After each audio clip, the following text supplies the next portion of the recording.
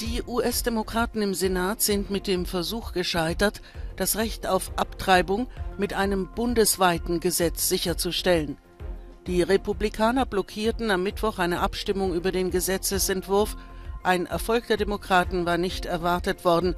Die Abstimmung war in erster Linie symbolischer Natur.